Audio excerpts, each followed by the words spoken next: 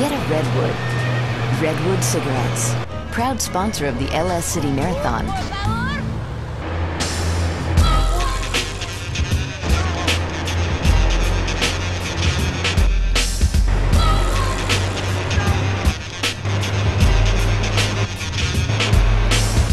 I got another gang story to tell